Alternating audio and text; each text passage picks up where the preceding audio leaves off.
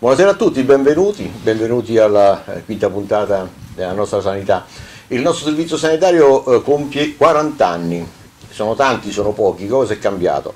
Perlomeno 40 anni non sono tanti, ma purtroppo è cambiato il mondo che sta intorno al nostro servizio sanitario, sono cambiate tante cose. E domani eh, si festeggia proprio questo qui a Roma, eh, un servizio sanitario che poi eh, in carenza di sofferenza dei medici, perché ehm, mancano e cominciano a mancare i sanitari perché non si è fatta un'adeguata programmazione nel tempo e quindi per questo eh, vengono stanziati più soldi o perlomeno vengono stanziati gli stessi soldi per avere qualcosa di meno. Lo andremo a vedere perché, anche perché eh, in alcuni ospedali d'Italia purtroppo eh, tra bagarozzi e formiche e infezioni nosocomiali la situazione non è poi eh, così felice, anche perché poi parlando del Servizio Sanitario Nazionale e vedendo che 4 milioni di italiani purtroppo sono costretti a eh, pagarsi eh, le cure di propria tasca o perlomeno rinunciano alle cure proprio perché non hanno i soldi, a questo punto dobbiamo vedere che il nostro servizio sanitario, bello che nato 40 anni fa per tutelare tutti, è un fiore all'occhiello della nostra nazione, incomincia a dare i primi colpi. E oltretutto la, eh, Oltretutto eh, tutto, questo, tutto, questo, lo dobbiamo inquadrare poi in una situazione politica che è particolare, perché eh, c'è una dialettica che non è più quella eh, reale delle idee, ma bensì una dialettica purtroppo che eh, mette in primo, in primo piano il litigio e l'insulto. Vedremo questo in questa puntata della nostra sanità. Sigla.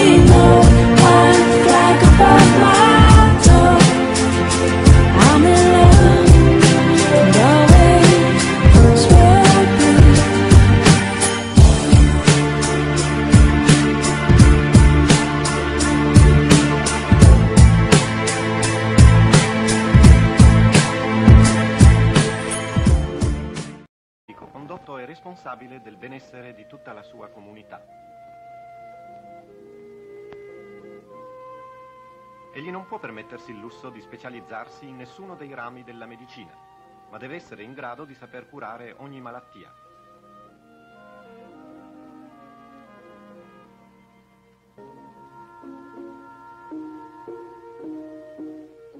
La gente del paese lo stima e lo considera come un amico.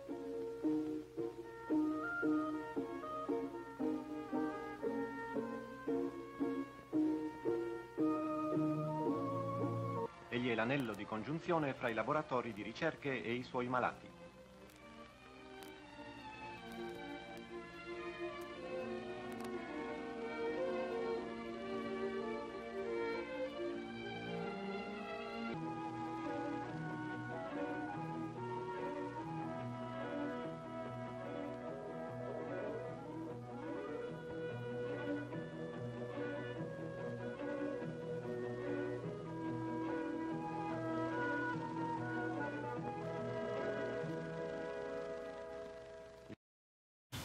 Era un filmato molto antico, di un medico condotto molto antico, quando la medicina era tutt'altra cosa.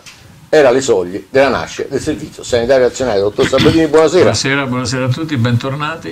Eh, non abbiamo detto, anzi ci scusiamo che la settimana scorsa per un blackout improvviso abbiamo dovuto interrompere a metà la nostra trasmissione, stasera riprendiamo, speriamo che la, l'energia aiuti, elettrica non ci... Che ci aiuti il gestore. Che ci aiuti il gestore, eh, scusateci.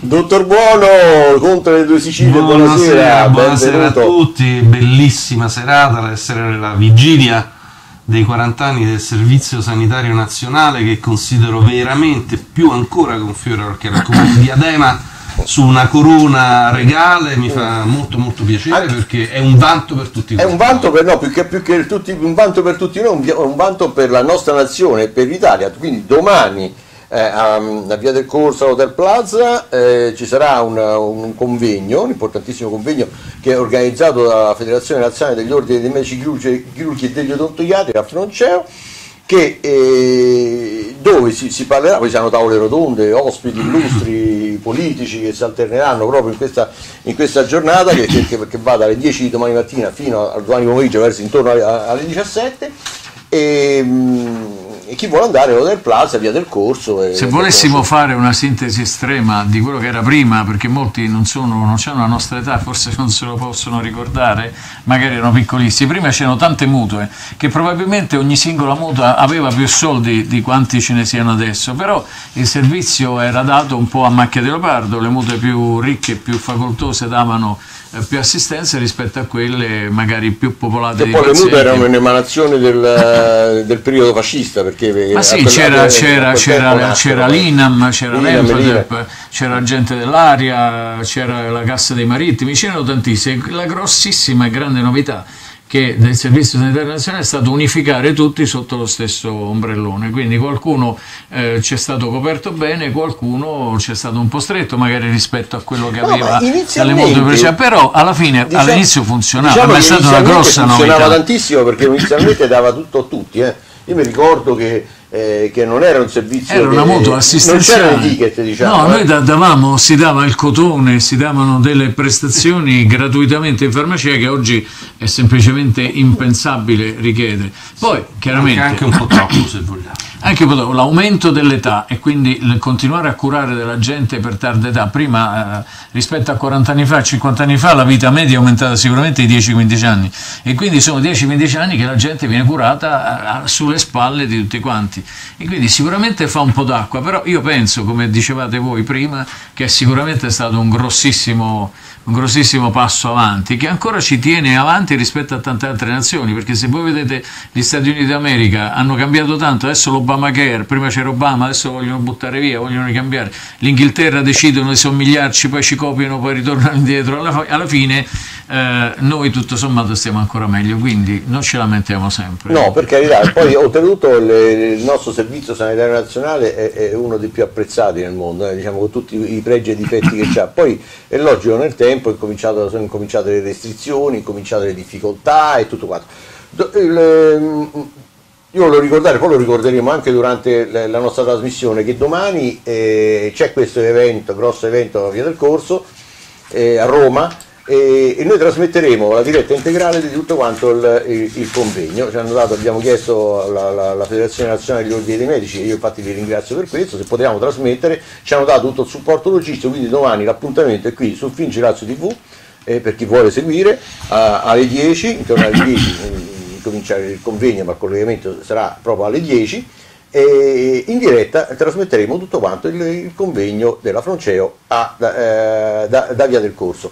E poi però oh, molte di queste cose sono andate un po' depauperandosi a causa del, del, ma sì, della carenza di fondi e di soldi. Di fondi, ma del resto il compito c'era troppo spreco prima o c'era no, poco? è successo no. semplicemente che le vecchie mutue eh, facevano eh, afferenza a quello che era il pensiero di Bismarck, era il modello Bismarck, cioè eh, la sanità deve tutelare chi produce attraverso finanziamenti che vengono dai contributi che queste categorie versano e quindi di qui il discorso mutua più ricca, mutua più povera, ovviamente la mutua più ricca dava di più. Successivamente il modello seguito, il modello Beveridge, che tuttora è quello che abbiamo, che prevede che eh, vadano tutelati tutti indispens- in, modo del tutto indipendente da quello che è il loro livello produttivo, quindi tutelare il, cittadino in quanto tale, non il lavoratore che è anche cittadino, comporta una spesa, una spesa maggiore, a carica della fiscalità generale, ma la fiscalità generale come si forma? Si forma attraverso le tasse che Certo, E noi sta- sappiamo che abbiamo intere manovre economiche di evasione fiscale, C'è stato. cosa che Strego c'è stato però, Per Strego c'è stato. però. L'ispirazione principale, Allora, tutto lo sommato, no, sicuramente, sicuramente c'è stato lo spreco. Però ricordiamoci che se noi abbiamo questo iceberg sommerso di evasione fiscale, eh, dovrebbe essere quella che finanzia. Invece non abbiamo questa evasione contributiva, non l'avevamo prima, perché erano categorie produttive e quindi con contributi ben determinabili la fonte. E quindi ecco che qualcuno dice ah come stavamo meglio prima, vedendo il suo piccolo orticello. Però, come dicevo poco fa, l'ispirazione principale di questo nuovo sistema è stata la creazione dei cosiddetti LEA, dei livelli essenziali di assistenza, cioè stabilire, e ogni tanto cambiano anche questi, quelli che sono i gradini minimi al di sotto dei quali la sanità pubblica non può andare. E questo secondo me è un grossissimo eh, successo. È un po' se voi vi ricordate il paniere, no? quando c'era la scala mobile tanti anni fa, che adesso non no? c'è più, eh, perché adesso c'è una, moneta unica europea e quindi c'era il serpentone monetario, però alla fine c'erano dei, dei cibi che stavano dentro il paniere e che non potevano essere come dire, toccati perché eh, il pane, l'acqua, adesso non mi ricordo più che cosa ci fosse, devono essere garantiti tutti e quindi mutatis mutandis si lea vogliono fare questo, garantire quelle prestazioni minime al di sotto delle quali il sistema sanitario Questo perché deve e poi, perché- allora ricordiamoci sempre che il servizio sanitario nazionale era nazionale, adesso è diventato servizio sanitario regionale, perché un tempo quando era nazionale io mi ricordo che eh, c'era lo Stato centrale, al centro c'era il Ministero della Salute che disponeva tutto ciò che c'era da disporre eh, nella, nella- nella sanità eh, in, tutto- in tutta, in tutta la penisola. Dopo c'è stato il frazionamento, ora il frazionamento bisogna vedere quello che ha portato. Adesso loro ti secondo me dico, io ti do una parte e il una resto grossa te lo produci da solo. Adesso sono le Esatto, regioni che devono auto, autofinanziarsi Certo, ma prima invece la regione faceva un po' quello che voleva, dopodiché quando c'era da ripianare l'eccesso di, spe- di spese, C'era zio- Paperone che pagava, zio c'era- Paperone. C'era, ma questo anche nel il ripiano anteposto, no? Avevamo in Emilia Romagna gli autobus che costavano 0 lire in determinate fasce orarie.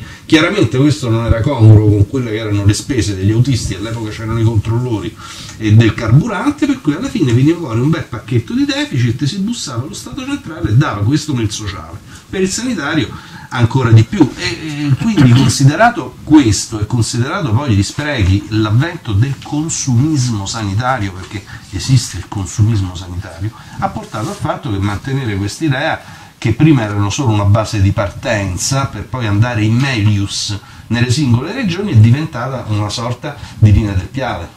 A dire il vero, poi l'ultima osservazione che, fa- che- che faccio è che mentre prima anche la visita, semplicemente la prestazione si pagava perché c'erano le notule, quindi ogni paziente, ogni volta che andava dal medico per farsi una qualunque cosa, una volta andavano molto le iniezioni intramuscolari, le endovenose, c'era una prestazione, il medico veniva pagato a prestazione, per cui la gente stava attenta a non andare dal medico in maniera esagerata. Poi questa cosa comunque è stata cambiata. Adesso il paziente può anche andare dal medico 10 volte al giorno, non paga nulla e quindi questa forse è un po' una stortura al contrario, ci vorrebbe una, una via di mezzo. Come sempre. Beh, Comunque ci stanno alcune cose che al tempo non c'erano e che adesso ci sono. Insomma, dire, Eh, certo. Diciamo che la- magari l'assistenza territoriale era, era un pochettino più carente perché ovviamente c'erano. Sì, eh, era più carente, eh, c'erano eh, meno quindi- risorse, però eh, però, consentitemi insomma, anche di dire che non c'era il fenomeno della medicina difensiva perché il medico, giusto o sbagliato che fosse, era tenuto in una considerazione sociale che riecheggiava in tanti modi di dire popolari. Ad esempio te l'ha ordinato il medico. Oggi come oggi il medico a chi ordina e che cosa ordina? Il medico consiglia, il medico propone, anzi spesso e volentieri lo deve fare dilungandosi molto perché sennò qualcuno se le cose non vanno bene gli dice tu non mi avevi detto Sempre che mi dottor Google sia d'accordo, eh. qualcuno- ah poi per carità E poi- ci sono due autorità il il dottor Google e le autorità garanti della privacy e di quant'altro perché è chiaro che adesso ci muoviamo tra Scilla e Cariddi e muoversi navigare in un mare del genere significa eh, dover necessariamente allentare i cordoni della borsa per quelle che sono cose cose delle volte ridondanti, delle volte inutili, che hanno soltanto lo scopo di dire io te l'ho fatto fare e un domani non si dica questo. E questo, scusatemi se torno sul mio, mio vecchio mantra, ma è una delle origini degli sprechi, per cui poi alla fine eh, si va a, a arretrare sui LEA che invece sono la quintessenza della civiltà nel nostro paese e il pieno rispetto dell'articolo 32 della nostra Vede, allora vedete che in 40 anni questo servizio sanitario è passato poco tempo, ma in realtà dei fatti è cambiato il mondo intorno, diciamolo. Allora vi ricordo sempre, e domani alle ore 10, che domani, eh, domani per, per chi ci ascolta in diretta eh, ovviamente è il, il 15 novembre, domani, eh, però in realtà dei fatti chi, chi ci ascolta magari il fine, il domani, il 15 novembre alle, alle 10 domani mattina eh, in diretta streaming per chi vuole eh, da tutta Italia vedere il, il convegno del, dei 40 anni del Servizio Sanitario Nazionale. E mh, oltretutto qui c'è anche un numero di eh, Whatsapp che verrà dato, un numero Whatsapp che, eh, che, che verrà dato domani e, e, e anche un hashtag eh, 40 anni SSN scritto maiuscolo eh, che, eh, con cui parlare anche attraverso eh, Twitter. Benissimo, allora ehm, e noi trasmetteremo in diretta. Oppure, chiedo scusa, per chi eh, volesse andare, l'appuntamento è alle ore 10 al Grand Plaza, via del Corso 126. Benissimo, allora eh, eh, abbiamo la... siccome eh, adesso parleremo di influenza, no? E siccome abbiamo oh, l'influenza eh, alle porte, come non fare propaganda eh, o fare un piccolo spot sui vaccini? Andiamo a vedere e poi torniamo in studio con l'Influnet.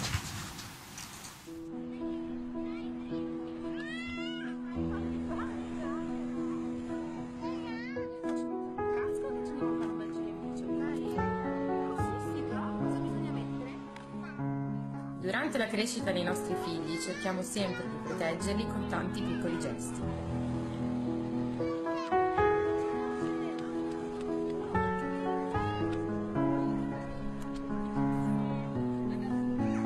Il vaccino fa parte di questi.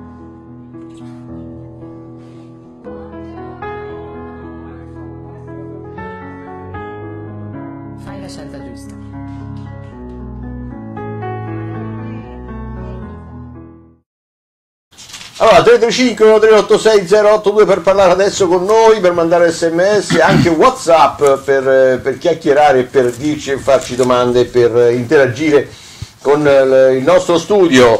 Eh, allora l'Influnet, allora abbiamo la, Sì, sì, Abbiamo abbiamo, la abbiamo curva- la, seco- la seconda, di- diciamo così, la seconda settimana di valutazione del- dell'Istituto Superiore di Sanità, la quale ci fa capire com'è l'andamento rispetto a quest'anno e rispetto agli anni precedenti. Quindi se vediamo la prima Mm. possiamo vedere che ecco no, adesso, adesso la vediamo. No, Possiamo cioè, vedere che la curva, mentre la settimana scorsa si era un pizzichino più alta rispetto a quella dell'anno scorso, adesso si è è riabbassata. quella piccolina, eh, diciamo È che quella la, la, piccolina, la curvona è la quella parte a del sinistra, anno, la no? parte a sinistra dove i numeri che vedete 42, 43 e 44 sono le Le settimane. settimane, dell'anno. Quella tratteggiata è quella dell'anno scorso, in pratica è, eh, la, la stiamo copiando. Possiamo dire che perlomeno no- alle nostre latitudini ancora c'è caldo, anche se dalla settimana prossima sembra che arriverà il freddo. In molti stabili non è che stato anche- neanche acceso il riscaldamento ed essendo il 14 novembre per la nostra latitudine è un po', è un po' strano, però Per Roma, magari Roma, Per Roma, per Roma, Come eh, vorrei stare in quei per Roma, sì. quelli dove non hanno acceso il Comunque, riscaldamento. comunque possiamo dire da quello che vediamo, non so se abbiamo anche chi ci segue da sopra le montagne, che, Certo. che- che lì eh, comincia a accendere il riscaldamento e fa freddo, eh? Nelle montagne del nord, Alp- nelle Alpi, e, quindi lì probabilmente arriveranno prima eh, il virus, non, non dico di no, però, però anche lì la vaccinazione eh, io sono convinto che sia iniziata prima di noi, perché noi stiamo vaccinando adesso in questi giorni e... Eh sì che ci sono stati dei ritardi per questo.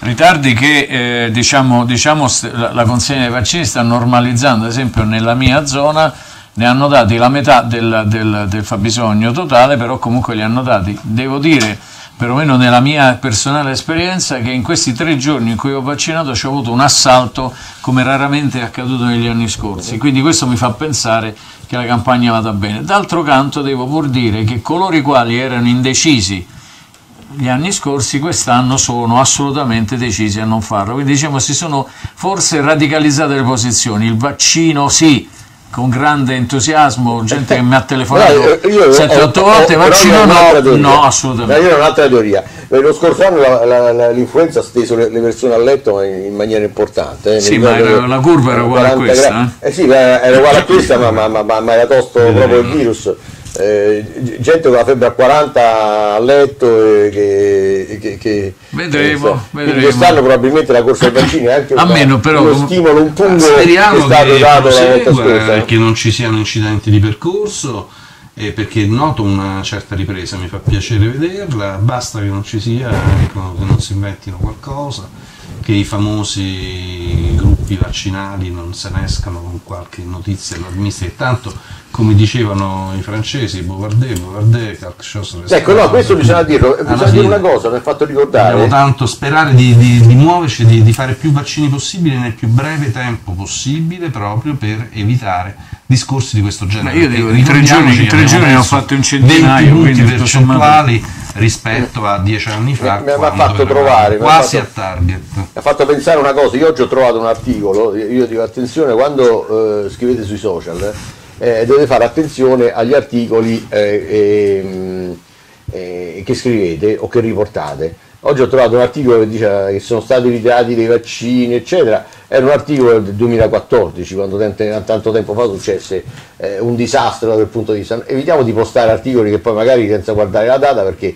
se poi non guardiamo realmente la data dell'articolo corriamo di postare qualcosa di, di questa di, è la malattia di quelli che fanno like mi piace e leggono solo le prime tre righe poi quindi, le, lo, quindi, le altre 600 non le leggo. Io direi di mettere la data dentro al titolo eh, c'è anche una seconda slide sì, eh, c'è anche la seconda slide sì. la seconda slide questa invece l'incidenza in base alle, all'età, all'età e comunque e ce n'è anche una terza perché come voi ben sapete eh, il Ministero cerca sempre di fare, eh, questa invece su tutte, su tutte, le influenze. Quella precedente fa le differenze di età, però ancora non c'è nessuna differenza né tra i piccoli, perché loro dividono sempre da pediatriche, adolescenti, adulti e anziani. Quest'anno, come vedete, eh, c'è stato quel piccolissimo picco degli, degli, dei 45 anni la settimana no, siamo in fase iniziale, ma, adesso, ma adesso ancora non c'è. Per cui possiamo consigliare, continuate a vaccinarvi eh, qualcuno mi chiede cosa fare con i pazienti che assolutamente non vogliono vaccinarsi.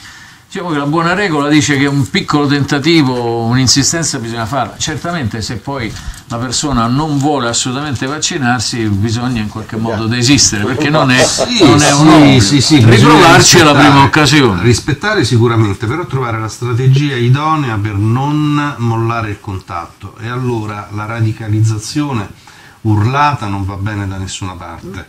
La disponibilità a rispettare il punto di vista altrui, ma fare presente che ci sono altre fonti dove magari andare a vedere eh, quali, qual è la realtà delle cose e eh, soprattutto mettere in risalto quali sono le strade alternative sia per informare e sia per far capire che sono lunghe, sono laboriose, sono complesse e non sono sicure. Dopodiché eh, è chiaro che se ci si imbatte in una persona, tra virgolette, invasato, addirittura attivista per discorsi del genere, ci si, per carità, si rispetta, si, si dice se ne vuole cioè, riparlare, sono disposto a starti L'importante, dottor Buono, è non farli considerare dei paria, cioè degli esclusi della società, perché no, poi alla fine... No questa cosa potenzia il loro, esatto. eh, diciamo, il loro isolazionismo. Esatto. Invece dire la pensi diversamente, se Vabbè. tu cambi idea, sono qui, qua. però insomma, non condannarli in maniera esagerata. Penso che l'accoglienza sia una, Poi, una, delle prerogative del nostro lavoro. L'Istituto Superiore della Sanità, eh, Walter Ricciardi, nel, nell'interrogazione che è stata fatta eh, qualche tempo fa, no, interrogazione, è stata fatta una relazione eh, governativa proprio sui vaccini ha detto che, che, coloro che hanno questo problema sono il 3% con chi non vuole eh, i resistenti proprio alle vaccinazioni sono un 3%, un misero 3% e poi è, è, quello che, è, che, grida di più perché grida molto in realtà poi è, una percentuale minima perché la maggior parte degli italiani sono consci e ben consci di quello che eh, stanno facendo e, che, e, di quello che eh, debbono eh, debbono fare. E abbiamo visto, la, eh, parlando proprio di, di, di, Istituto Superiore della Sanità eh, e di statistiche, proprio perché eh, le statistiche sono fondamentali no, in questo caso, anche nell'influenza, eh, qualche giorno fa, sempre in una relazione eh, governativa, eh, l'Istat ha dato dei dati e ha dato una notizia, un'informazione che 4 milioni di italiani eh, non riescono ad accedere alle cure eh, oppure non si curano abbastanza perché eh, purtroppo hanno, oh, non hanno più soldi. E la crisi. Cioè, la, la, crisi ha fatto questo.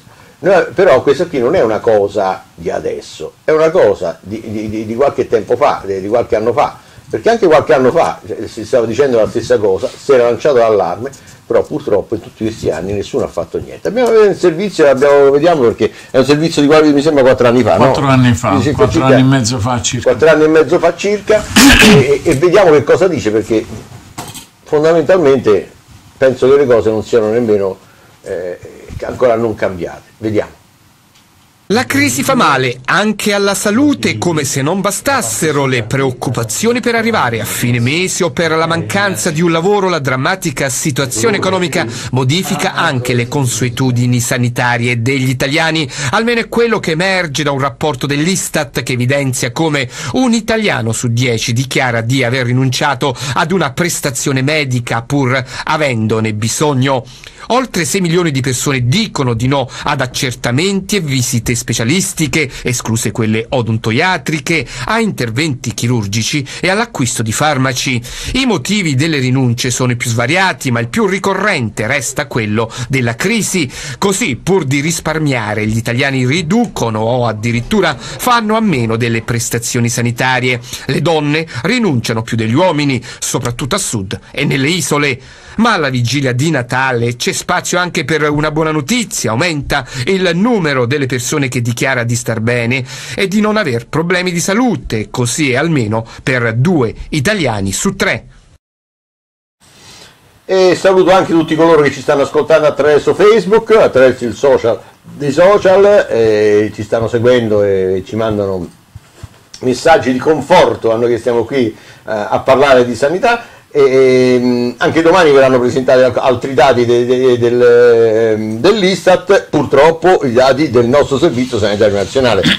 No, mi chiedo, nessuno in questi anni ha fatto niente. Mi chiedo a che cosa serve pubblicare dei dati se, come, come giustamente accennava lei poco fa, non si fa niente. Cioè, se adesso sono 4 milioni di italiani, prima erano italiani. Eh, 2013 addirittura. Eh, eh, 2000, prima, era, no, prima era un italiano, un italiano su 10 adesso sono 4 milioni, Mo, tutto sommato non mi pare ci sia una grossa differenza. Allora, o noi siamo una nazione che è perennemente in crisi, e questo è triste doverlo ammettere, oppure i dati sono, diciamo così, aggiustati, vogliamo dire così, eh, alla bisogna, perché quando si arrivano alle feste di Natale arriva sempre che i poveri sono aumentati, la disoccupazione aumenta, gli italiani non si possono curare perché non riescono ad accedere alle cure, però in questi cinque anni l'accesso alle cure è molto cambiato. Oggi con l'entrata in vigore, cioè con l'entrata nel mercato dei privati o dei privati accreditati, tutto sommato ehm,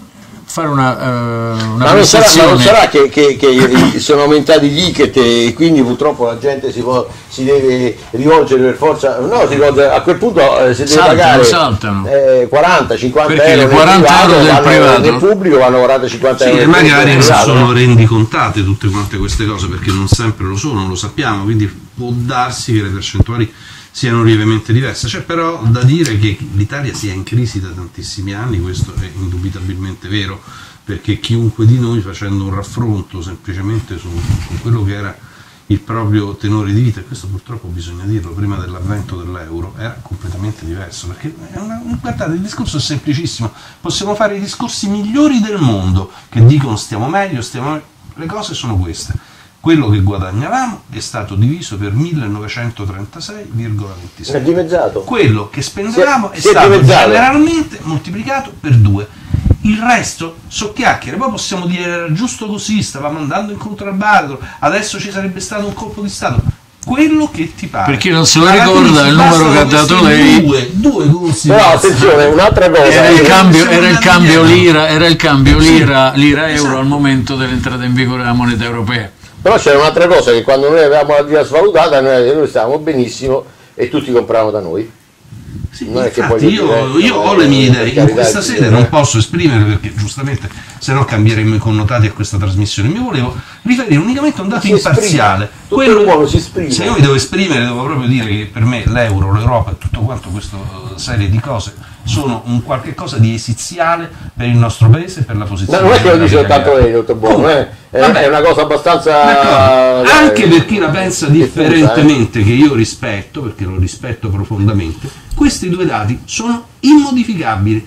Stipendio diviso 1936,27, quindi perfettamente mantenuto, e prezzi perfettamente raddoppiati. Sarà stato giusto? Non lo so, può darsi, ma il fatto resta, quindi si va indietro, quindi se si va indietro comincia il dentino per Ma la esempio, domanda che si pongono molti italiani, non curandolo dovrà farmelo estrarre. E facendomelo estrarre dirò beh vabbè me ne restano tanti Però non mi fa, non mi fa più male. La domanda che si pongono gli italiani però, tornare indietro è Si possibile oppure tornare indietro, cioè diciamo la, la- la- la medicina è peggiore della malattia, tornare indietro, dottor Buono, non si può. No, no, perché ormai ma siamo entrati in un meccanismo... Non posso assolutamente essere in disaccordo con quello che dice. È chiaro che bisognava pensarci prima. Diciamo che l'Italia dà all'Europa, dà all'Europa Stato- 5 miliardi di euro, lira più, euro più, euro meno all'anno, ma quanti ne riceve dall'Europa? Mi sa molti meno. È vero sì che noi italiani non siamo capaci di sfruttare No, i soldi che vengono messi, progetti, di fare i molti sono progetti. legati ai progetti. È chiaro che se lei fa uscite e progetti entrate- indietro. Noi dall'Europa prendiamo meno di quanto diamo e quindi l'anti-europeista ha tutte le ragioni, però io anziché tornare indietro prov- proverei a fare proprio quello che dice lei, sfruttare i fondi europei, le possibilità di ricevere dall'Europa parte so perché. di quello che abbiamo dato. Eh, ma scusatemi, io fondi europei non ho capito perché. Ci stanno e nessuno li piglia. Non siamo in grado di fare Non dei sarà- progetti... ma, ma non sarà che questi progetti sono talmente grossi? Sono complicati, sono complicati, oh, eh, sono beh, complicati. Cioè, se tu devi fare per acchiappare determinati soldi, devi fare a mandare lo shuttle sulla Luna. Io non All'estero però lo sanno fare, lo sanno fare Ma lo bene. sanno fare, ma probabilmente saranno proviamoci, proviamo, proviamoci nel nostro piccolo. Dottor Buono, bisogna lavorare, come si Oppure dice. sono, oppure sono ottimizzati, attenzione, oppure sono ottimizzati questi fondi eh, per eh, attività che vengono fatte non solo, eh, solo esclusivamente in paesi che le possono fare. Allora io devo dire, dice, questi soldi vengono dati a uno che parla finlandese, che, che ha la madre da tre generazioni residente nella città di X, eh, eh, Però non vi ho detto niente. però ho aperto a niente, tutti. perché- Allora, qua, questo non è che poi via Gallarate. Vi- vi Io voglio- vorrei che ci fosse questa qui, che, che che- che i fondi europei sono, sono talmente mirati a determinate cose che in Europa li pigliano. Vi li voglio, ricorda- vi voglio ricordare che qualche tempo fa, due o tre anni fa, è stato diciamo così, pizzicato un agricoltore che aveva, mi pare, 2000 mucche eh, e aveva preso dei fondi europei per eh, pascolare queste 2000 mucche. Peccato che, se non ricordo male, il suo terreno stava a Piazza di Spagna, quindi c'era Vabbè, qualcosa. Una variante, ma dottor Sabrini, una variante genetica di mucche che riesce a nutrirsi In giacca e cravatta. Le mucche in giacca e cravatta. trovano. Perché in giacca e cravatta non ci possono essere. Non pensi sempre male, per favore. Ha ragione, sono un cattivaccio. Va bene, non ho capito. Allora, le- parlare appunto di soldi, noi abbiamo subito introdotto l'argomento di soldi. Soldi, carenza medici, carenza medici, carenza di borse di studio.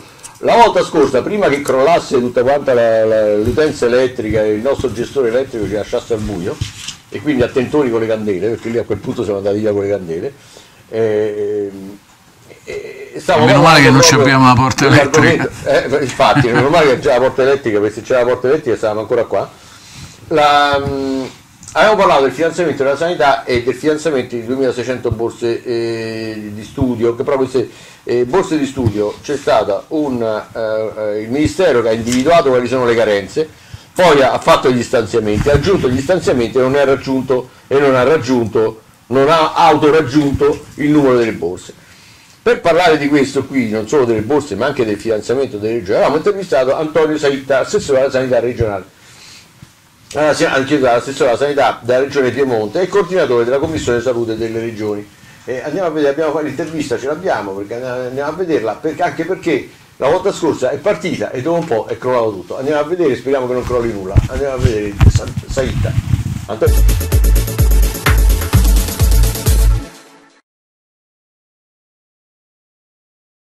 Fondo Sanitario Nazionale. Gimbe lancia un allarme, 4 miliardi in più servono. La situazione attualmente?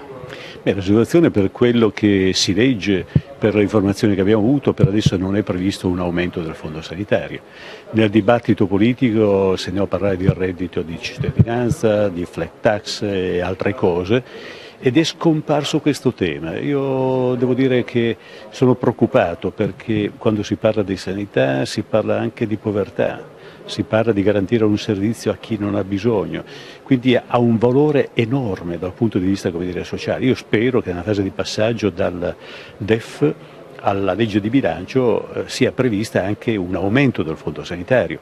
Noi non ce la facciamo più come regioni perché ormai è un po' di anni che stiamo facendo economia a destra e a sinistra, però alla fine in questi anni quello che è capitato è una riduzione del personale. La sanità non è una spesa comprimibile, quindi eh, con l'andare avanti dell'età ovviamente necessita di maggiore assistenza non tanto centrale ma quanto periferica sul territorio. Beh, è chiaro, questa è la grande sfida che abbiamo tutti assieme, operatori sanitari, regioni, cioè noi abbiamo un sistema sanitario che deve essere rimodulato in base a una domanda nuova che è quella della cronicità della popolazione anziana e non siamo sufficientemente attrezzati, questo è il tema vero.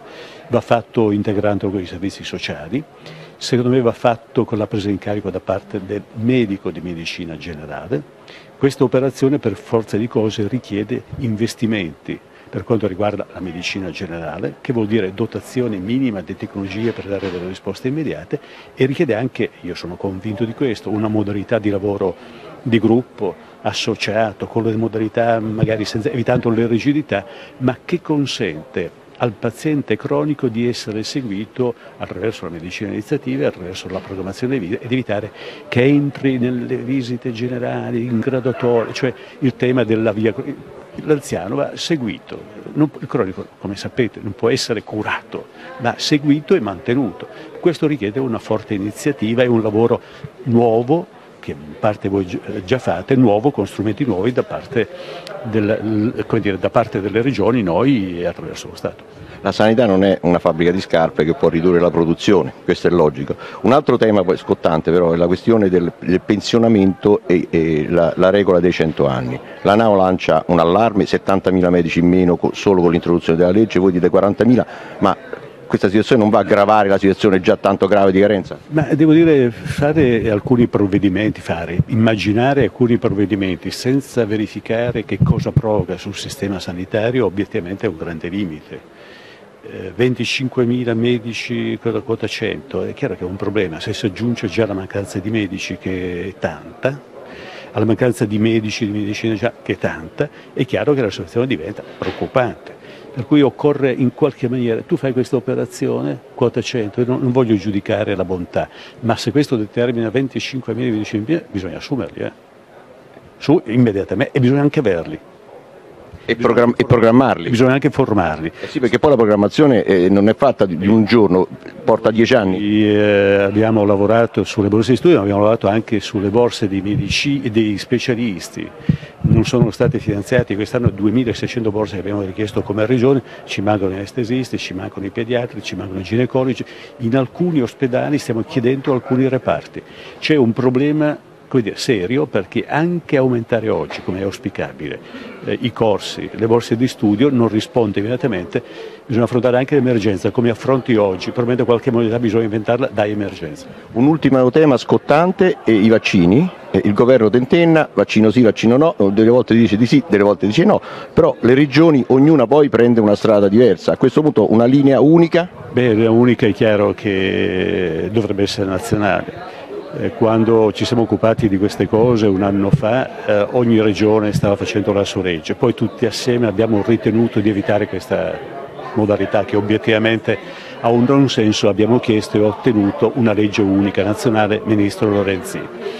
Pensavamo che si continuasse su questa strada, che ha dato buoni risultati, adesso si cambia per dare ascolto a una piccolissima minoranza, perché il 90-95% cambia da regione a regione, c'è una grande copertura vaccinale per cui vuol dire, questo che sta capitando indebolisce la fiducia nei confronti delle istituzioni, nei confronti dei medici, vaccinati, e poi dice no, la politica decide che non è più obbligatorio, si fanno le raccomandazioni. In passato c'erano raccomandazioni, ma sul morbillo c'era una bassa copertura.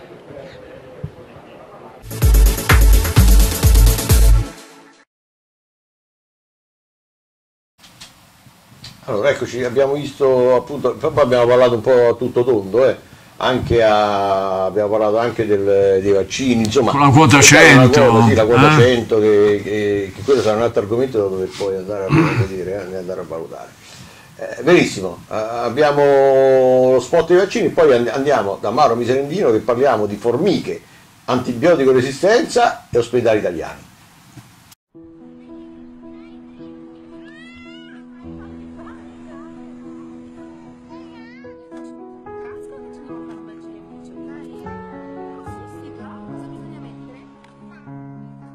Durante la crescita dei nostri figli cerchiamo sempre di proteggerli con tanti piccoli gesti.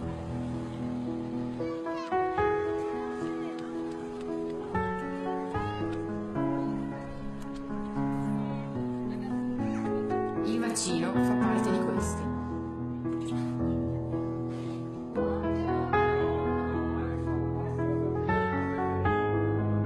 Fai la scelta giusta.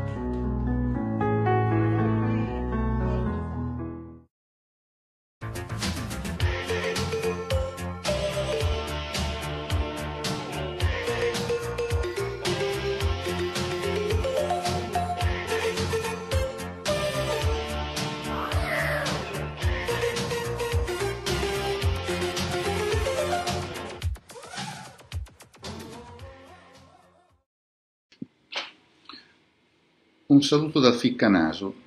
Eh, faccio riferimento alla paziente intubata eh, all'ospedale San Giovanni Bosco di Napoli, che eh, poi è stato riportato su Facebook, eh, questa, questa ripresa, ha postato un video in cui era sommersa da formiche e eh, tutto sommato eh, è il caso del giorno un caso del giorno eh, che fa capire eh, lo stato eh, di pericolosità in cui versano gli ospedali italiani, non penso solo napoletani. Ho avuto modo, mh, si pensi al problema de, se, se, ci sono de, dei bacarozzi grossi così, immaginiamo che cosa portano sopra di sé questi esseri che girano per i corridoi dell'ospedale, in termini di batteri e in termini di eh, eh, veicoli di infezione, batteri che non fanno nulla ma qualcuno che fa qualcosa c'è, aerobo, e poi ci sono anche gli anaerobi, insomma stiamo parlando di resistenze batteriche eh, che sono anche il problema del futuro insieme alle infezioni ospedaliere.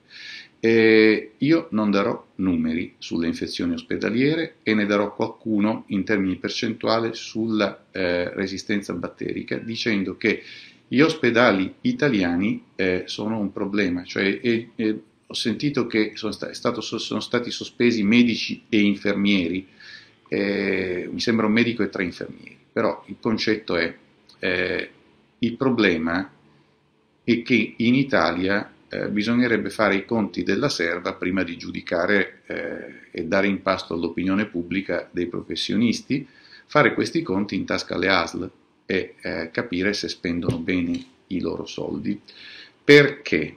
Eh, sono stato a questo incontro eh, del forum de, delle pulizie, dei, delle grandi ditte di pulizie, delle associazioni di ditte delle pulizie, si chiama Pulire, dove c'era Walter Ricciardi, eh, presidente dell'Istituto Superiore di Sanità, che eh, ha dato dei dati molto aggiornati sulle antibiotico resistenze, che dicono che noi ci prendiamo tanti antibiotici che noi eh, praticamente a seguito del, eh, dello stazionamento in ospedale rischiamo di contrarre infezioni e queste infezioni eh, prese in ospedale sono più resistenti di quelle che prendiamo sul territorio perché c'è una fenomenologia più ampia di pazienti e eh, qualche microbo si è preso anche lui eh, un feedback di organismi e di antibiotici potenti e è diventato resistente agli antibiotici.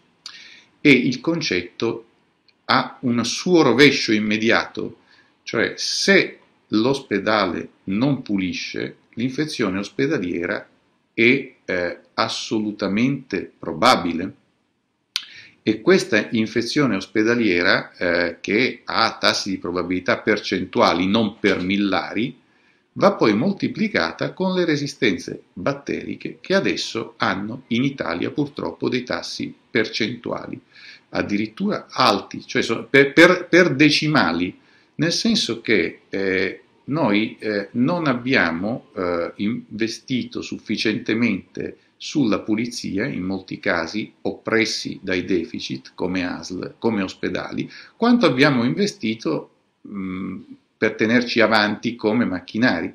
Diciamo che abbiamo l'80% dei macchinari obsoleti, direbbe la Bocconi, però tutto sommato abbiamo un 20% che va bene. Nella pulizia questo è gravissimo, significa che se un 80% delle imprese di pulizie non vanno bene, questa non è colpa dei camici bianchi o gialli, e se l'80% delle imprese di pulizia non vanno bene, eh, tanto mi dà tanto, si tratta per i malati di fronteggiare delle infezioni che in Italia sono cresciute in alcuni casi e sono rimaste gravi in altri casi, quando invece tutto il resto d'Europa le ha diminuite, perché ad esempio lo stafilococco aureo sono scesi, erano tutti al 25% di eh, resistenza nell'infezione da stafilococco aureo. Nel eh, 2012, eh, rilevazione 5 anni dopo, tutti i paesi a nord dell'Italia sono eh, passati, grazie ad appalti di pulizie più ragionati, principalmente a quello e grazie a una eh, grande eh, campagna di educazione sanitaria su quando venire in ospedale per quanto riguarda i pazienti e quando fare l'antibiotico, non farlo per l'influenza, non farlo per un virus, non farlo per il raffreddore, perché in quel modo tu lo spendi, lo fai, gli fai giocare l'amichevole e poi quando invece gioca il partitone infortunato in amichevole non va bene e lascia via libera all'infezione. Noi lasciamo via libera al 25% delle infezioni da stafilococco, percentuale che aumenta se sono contratte in ospedale, laddove invece i paesi eh, del centro Europa sono scesi al 10%. Ma le cose vanno ancora peggio per altre infezioni. La Klebsiella pneumonie eh, genera resistenze ormai nel 50% dei casi. L'escherichia coli, noi abbiamo la testa del gruppo con 25-50% di resistenze contro un 10-25 degli altri paesi europei, che non è bello neanche quello, insieme ai paesi del Mediterraneo, Cipro, Grecia e a qualche paese dell'est Europa. Il concetto è che noi abbiamo dato l'antibiotico per tenere a casa. Noi in Italia abbiamo eh, evitato di fare il turnover in ospedale e forse, anzi probabilmente, abbiamo evitato di spendere tanti soldi in pulizia che in qualche modo equivarrebbero da un punto di vista eh, diciamo a spanne, eh, proprio razionale, a costruire un nuovo ospedale eh, in termini di quantità di microbi che si annidano. Se io pulisco ex, proprio bene i comodini, i cassetti, gli strumenti, faccio una un controllo che mi costa anche tanto, però io lavoro in un ospedale come nuovo, non ho bisogno di costruire un ospedale nuovo e costruire un ospedale nuovo comunque costa un po' di più che lavorare in un ospedale nuovo, ma costa meno che ristrutturare un ospedale vecchio.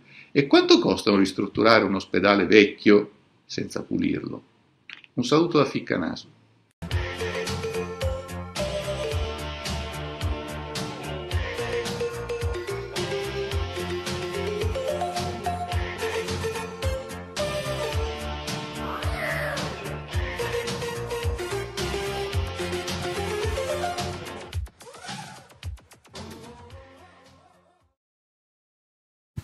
Eccoci, allora come mai, ma come mai in Italia siamo sempre così in, eh, indietro e a rimorchio degli altri?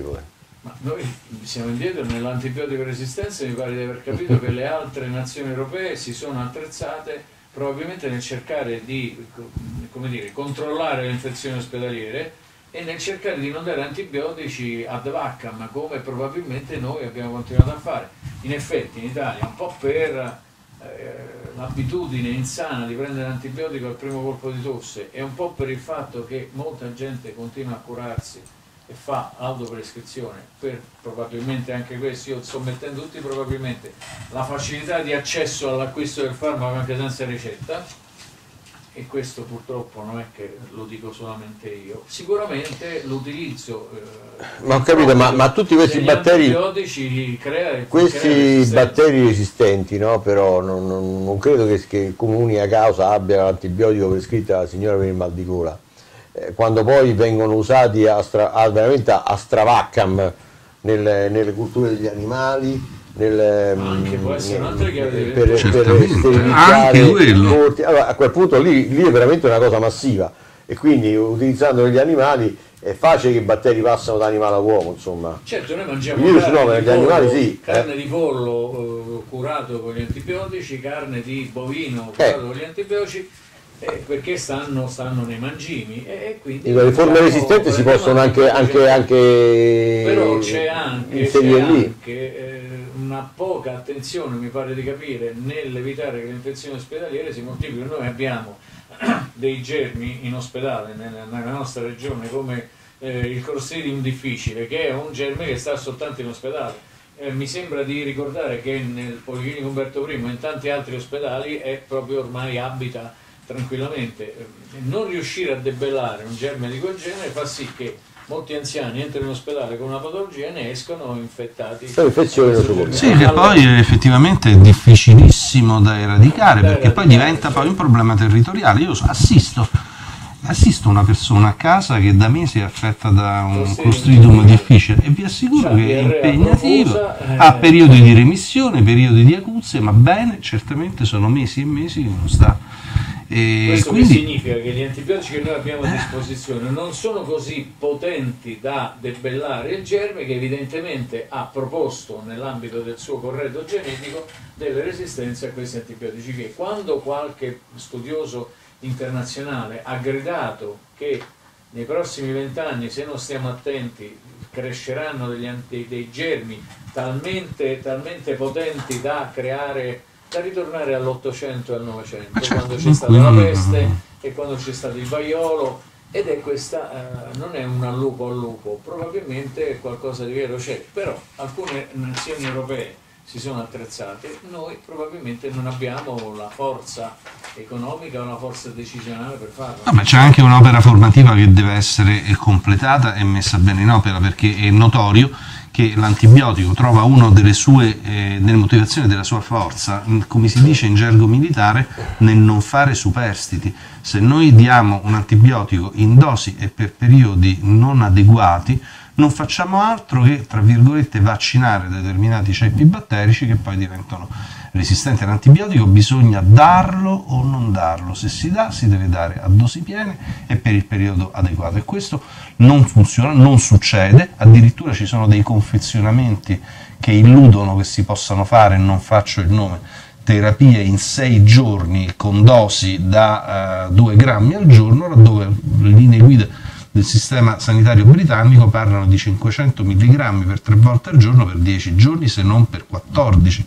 giorni. Allora se noi manteniamo una forbice di questo genere sarà probabile che questo antibiotico possa essere, eh, possa essere non più efficace verso determinati tipi batterici. Adesso mentre non ero inquadrato qualcuno ci dice ma guardate che il Clostridium difficile sta un po' ubiquitario, certo che ubiquitario, ma negli ospedali ha trovato modo di replicarsi e di crescere pascendosi eh, e creando difficoltà perché così difficile nella popolazione normale io non so eh, infezioni non, non, non, me ne ricordo e se, se, se, ce ne ricordiamo sono germi, sono germi non attrezzati a resistere. Quelli ospedalieri sono un po' più complessi e quindi forse probabilmente qualche decisore dovrà eh, prendere atto di questa cosa qui e cercare di trovare dei correttivi quello ad esempio di mettere ogni 10 metri in ospedale la macchinetta per lavare le mani ha sicuramente evitato la, la, distribuzione di tantissime infezioni, però probabilmente bisogna fare qualcosa di più,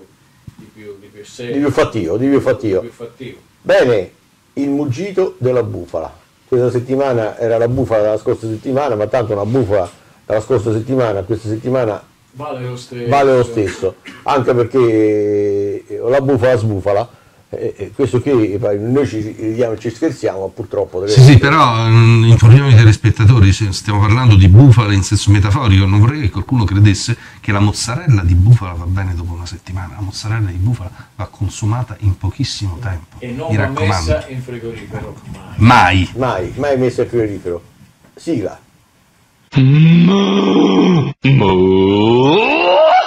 Ecco.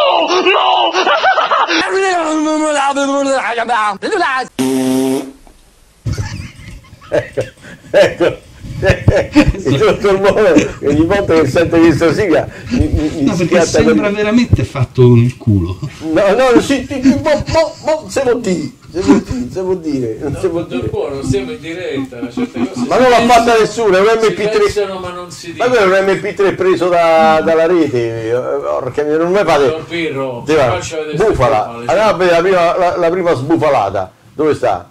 Che, qual era? Eh, Ma andiamo, la faccia, fate- la faccia vedere perché sennò poi non. eh, Eh, allora, ecco l'artemisia, quest'erba uccide il 98% del tumore in sole 16 ore, ma nessuno ne parla. Questa è una- la, la classica bufola eh, che purtroppo che gira e che sono ehm,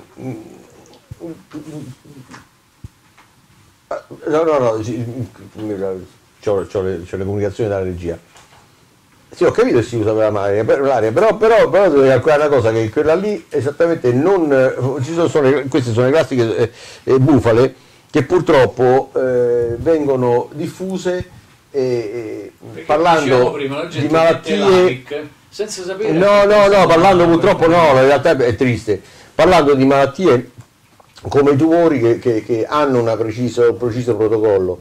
Ora, ehm, diffondere una cosa del genere, cioè l'artemisia, eh, quest'erba uccide il 98% delle- dei tumori in, in- meno di 16 ore, Ma lo sai Eh, qual purtroppo è il secondo paradigma di queste la- cose qua? mm, È il sì. fatto che gli stessi che le mettono in giro dicono queste cose non si vengono a sapere perché l'industria del farmaco ha Le nasconde, cure, le ha le cure per il tumore ma le nasconde e quindi non è che E si quindi eccolo lì, sì. di scoprire se la prima parte della notizia è una fesseria o no. Gli interessa molto di più dire questa parte è vera senza informarsi perché la seconda parte ci nascondono delle cose perché c'è sempre la teoria del com- complotto com'è che diceva de- del gomblottone, del gomblottone.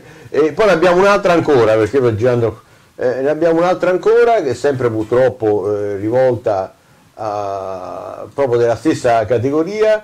Eh, scienziati scoprono che l'olio di cocco elimina il 99% del cancro al colon. Ma non si può, Questo è non più si può. Non si può eh, allora, o vi dico, le bufale, veloce di un miracolo eh, sì, effettivamente è una pillolina questa qui, eh, perché, perché, perché è proprio così, zacchete!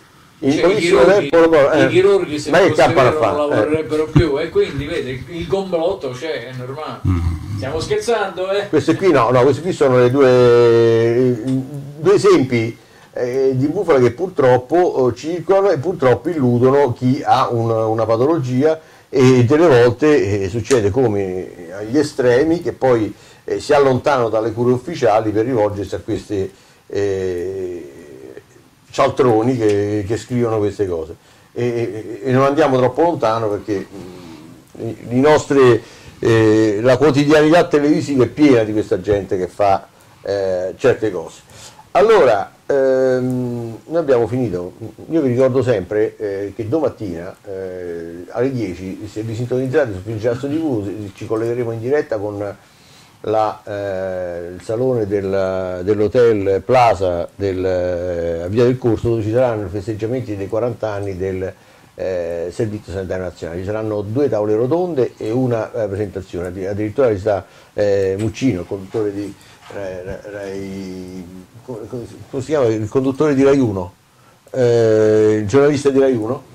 Eh, e poi eh, oltretutto ci saranno anche tavole rotonde presenti, ministri onorevoli, eccetera, eccetera, quindi si- si spera anche che il ministro della salute non penso che venga perché è diventata mamma da qualche giorno. Vediamo se riusciamo a strappare qualche, qualche comunicazione da qualcuno di loro. Eh? Vediamo poi se, se- se possiamo, potremo fare Se realizzare qualche di fare intervista. qualche intervista. Mm, Sicuramente che ci consentiranno, vediamo poi, visto che, che poi eh, avremo questa, questa esclusiva eh, della diretta. Eh, io vi ringrazio infinitamente, vi ricordo la replica che, che andrà in onda dopo la, la nostra trasmissione, eh, la, nostra pagina Facebook eh, di Fingirazio TV che è su, su- sui social e, e poi il numero di telefono 335 1386 082 per contattare la nostra redazione e per contattare noi. Io, io vi ringrazio infinitamente, vi do sempre appuntamento a domattina e, e un cordiale saluto, dottor Sabatini. Mi associo ai saluti del dottor Piero che ha già detto tutto e speriamo di rincontrarci qui tutti insieme la settimana prossima. Sicuramente, oh, se Dio vuole, sì. Saluti cari a tutti, scusate l'intemperanza di poco fa, però un suggerimento, magari facciamo un pochino più sobrio perché io, anche se sarà la, la terza, quarta volta che la vedo quella sigla, quando vedo l'onomatopea non, non riesco a trattenermi. Comunque, buona serata a tutti e a presto. Buonanotte a tutti, alla settimana prossima.